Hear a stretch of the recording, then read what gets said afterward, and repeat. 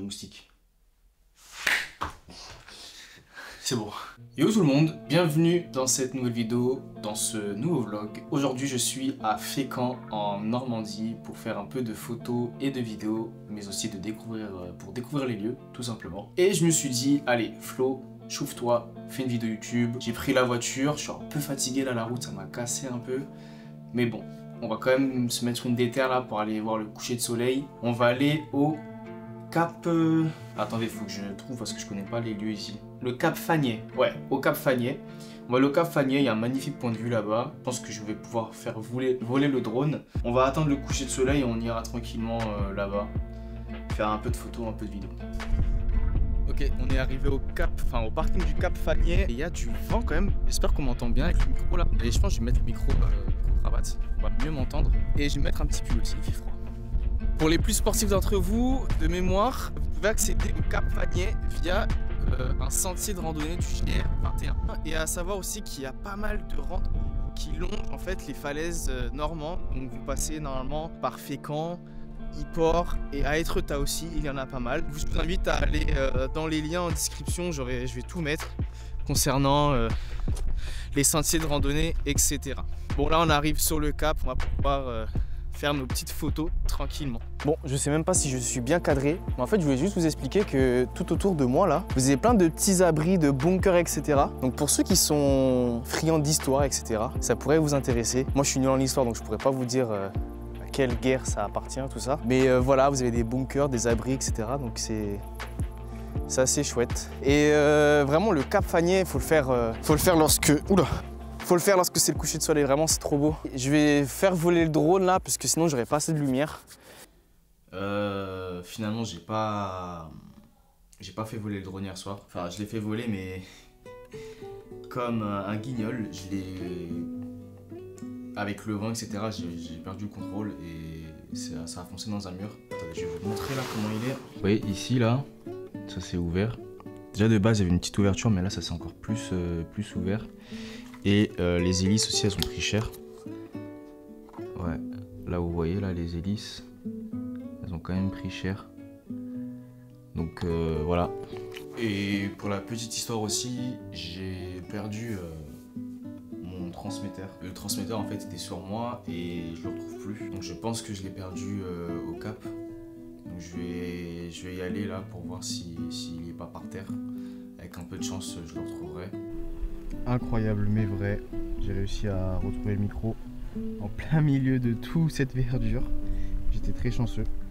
Par contre, j'ai juste perdu la petite plaque en métal là qui permet d'accrocher sur, euh, sur les vêtements. Mais bon, le plus important, c'est que j'ai retrouvé le micro.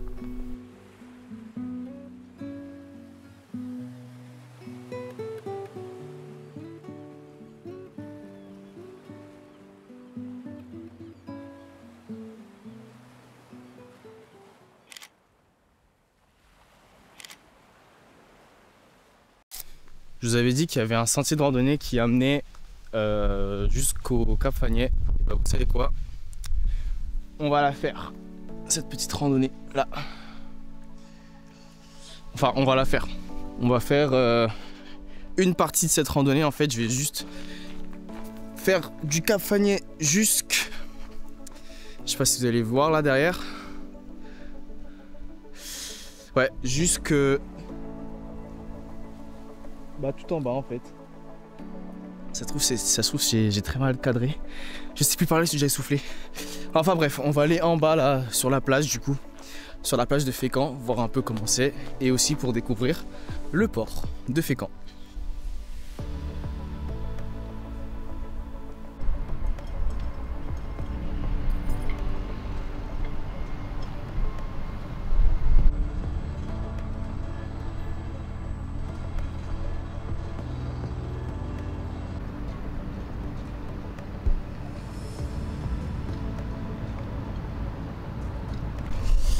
Pendant que je suis au magnifique port de Fécamp, je vous recommande de faire deux visites si vous êtes proche du port ou tout simplement si vous visitez Fécamp.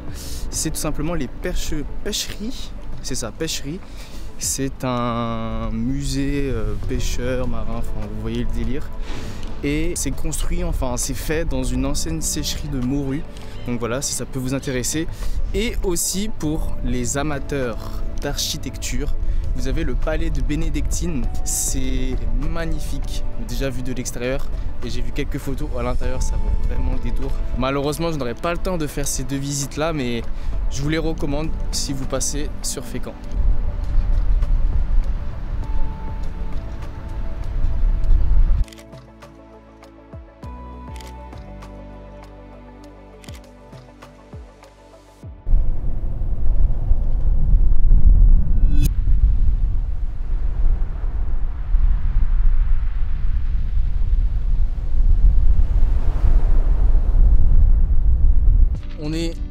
Sur la plage de Fécamp. Ici, les plages, c'est des plages de galets.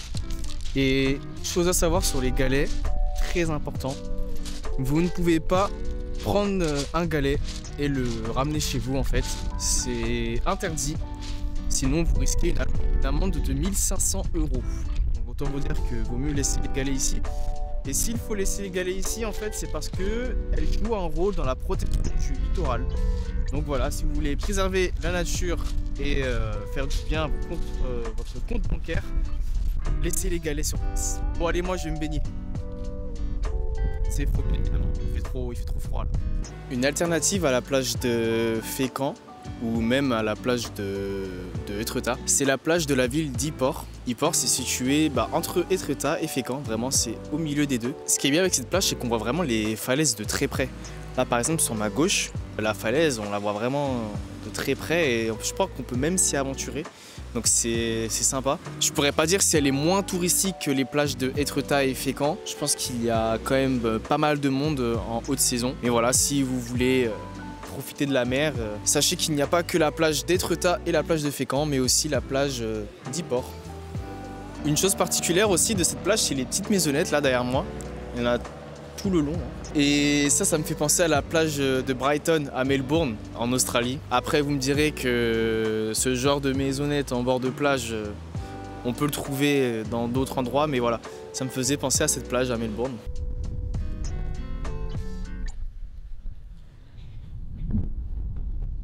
Je pense que je suis vraiment le pire youtubeur de France. Voilà, en fait, je vous explique, je voulais aller au jardin d'Être-Tard et ça ferme à 18h.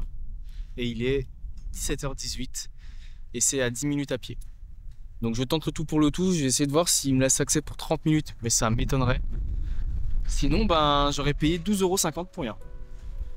Voilà. Non mais entre le drone, le micro et ça, euh... je sais pas en fait. Allez vas-y j'arrête de parler sinon je vais vraiment pas pouvoir y aller. Ok, ce fut très très juste mais j'ai pu rentrer. Et euh, franchement c'est c'est sympa. En plus, on va avoir le coucher de soleil là qui arrive bientôt, donc je pense que ça va être, euh, ça va pas mal.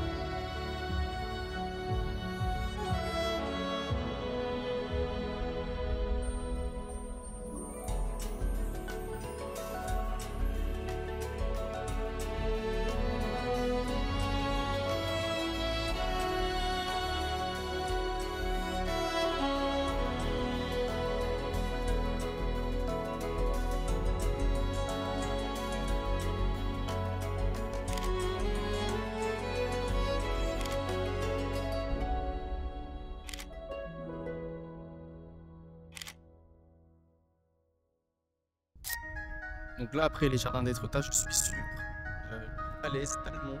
La falaise d'Almont. C'est vraiment juste en face. Vous n'allez pas le voir là. Mais en fait, derrière là, derrière là, là, et eh ben c'est les falaises d'Étretat. Donc si vous voulez bénéficier d'un coucher de soleil, vous avez aussi les falaises d'Almont. C'est juste à côté du jardin d'Étretat.